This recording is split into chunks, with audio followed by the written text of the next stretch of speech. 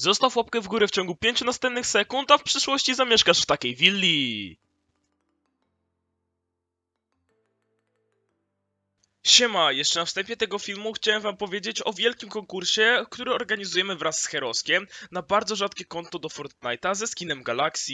Konto, które możesz wygrać, wyświetla ci się obecnie na ekranie. No i żeby je wygrać wystarczy, że spełnisz proste kroki. A najdokładniej zostawisz łapkę w górę pod tym filmem, zostawisz obserwację na Instagramie moim oraz Instagramie Heroska, który znajduje się w pierwszej linijce opisu, zasubskrybujesz nasze oba kanały z opisu oraz napiszesz biorę udział w komentarzu. Jeżeli nie spełnisz jednego z wymogów, czyli na przykład jeśli wygrasz, a nie zasubskrybujesz przykładowo kanału Heroska oraz jego Instagrama, a zostaniesz wylosowany, to niestety nie będziesz mógł odebrać swojej nagrody.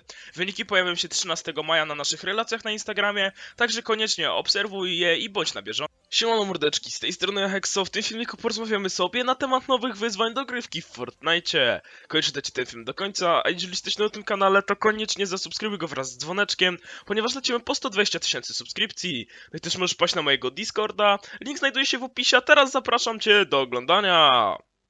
Także na początek przejdźmy sobie do dość niecodziennej sytuacji, której nawet likerzy nie zauważyli. Okazuje się, że na nowym zwiastunie sprzed kilku dni zapowiadającym ostatni koncert widnieje Kirby, czyli jedna z postaci Nintendo.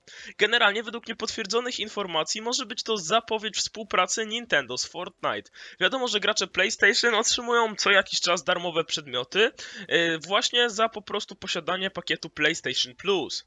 No i generalnie może być podobnie w przypadku Nintendo.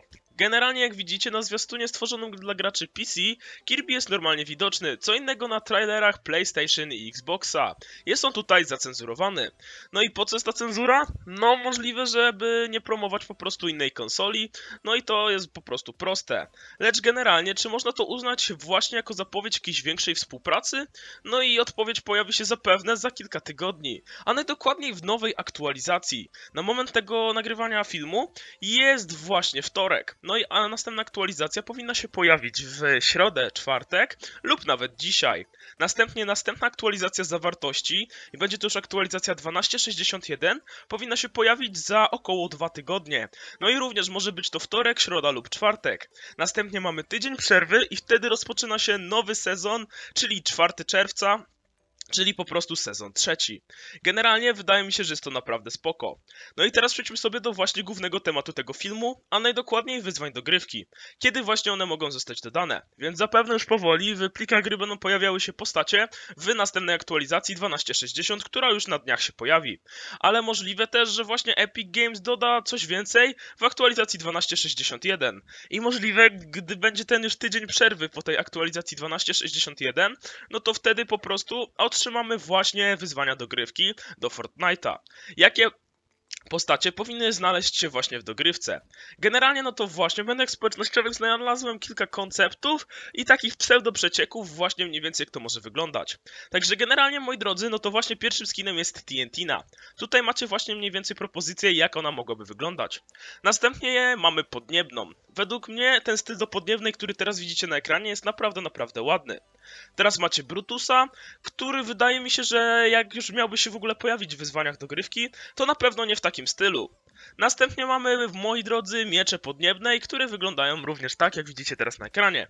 No i na samym końcu lotnia TNTiny, która wygląda tak. Wydaje mi się, że jest to naprawdę, naprawdę spoko, jeżeli takie coś zostałoby dodane do gry. Tym bardziej, moi drodzy, w mediach społecznościowych znalazłem również taki koncept, w którym to w ogóle postacie wyglądają totalnie inaczej niż zwykle.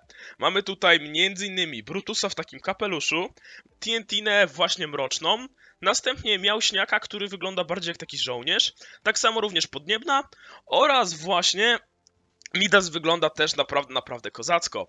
Jeżeli właśnie takie coś zostałoby w ogóle dodane do gry, to byłoby to pierwszy raz właśnie w historii wyzwań dogrywki.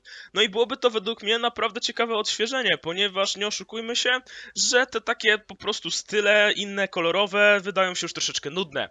Więc jeżeli Epic Games prowadziłoby właśnie takie coś, no to wydaje mi się, że byłoby to naprawdę, naprawdę totalnym sztosem i wydaje mi się, że naprawdę też niektórzy mogliby dzięki temu powrócić do Fortnite'a. Bo nie oszukujmy się, jest to naprawdę, naprawdę spoko. Generalnie, moi drodzy, no to gracze też twierdzą, że pierwszy raz w historii właśnie style za wyzwania dogrywki otrzymają wszystkie skiny. I nie muszą też one takie, jak wam przed chwilą pokazywałem, ale ogólnie no to właśnie dostawalibyśmy jakiś styl, na przykład, wiem, jakiś taki brązowy styl do Midasa i tak dalej, i tak dalej. Co też wydawałoby mi się bardzo spoko. I teraz przejdźmy sobie do naprawdę ważnej rzeczy. Czy w wyzwaniach dogrywki będzie karnet bojowy? No i tutaj właśnie jest wielki znak zapytania, ponieważ jak na razie Epic Games zbytnio nie ma żadnych wrogów, ale ostatnio właśnie oglądalność Fortnite'a na Twitchu nie jest zbyt wysoka. Lecz generalnie wydaje mi się, że jeżeli Epic Games chciałby przywrócić starych graczy do gry, to jak najbardziej dodanie karnetu bojowego za ukończenie wszystkich wyzwań dogrywki byłoby spoko. No i generalnie Epic Games już raz takie coś zrobiło w chyba sezonie siódmym.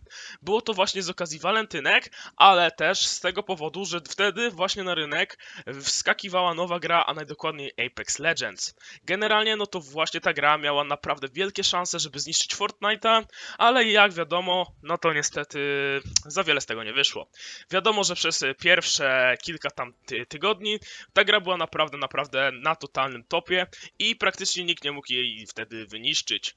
No ale Epic Games oczywiście zrobiło to, czego gracze chcieli najbardziej, czyli przywrócili po prostu rzeczy, które właśnie Epic Games kiedyś usunęło. Jeżeli Epic Games właśnie przywróciłoby m.in. stare rzeczy typu rozciągnięta rozdzielczość i tak dalej, to wydaje mi się, że wiele graczy powróciłoby do Fortnite'a. No ale co moi drodzy, kiedy pojawią się te wyzwania? Jak już mówiłem w aktualizacji najprawdopodobniej 12.61, czyli za tydzień. I co, to już by było na tyle, że ten odcineczek, ja byłem Hexo, do zobaczenia i cześć!